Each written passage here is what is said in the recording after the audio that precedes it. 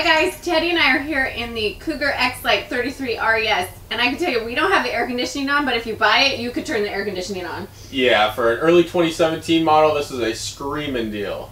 If you have been looking for a great kitchen, great living space, and a heck of a deal, you should come down to Tacoma RV Center. Check out this Cougar X-Lite 33 RES. We are home with a lifetime warranty.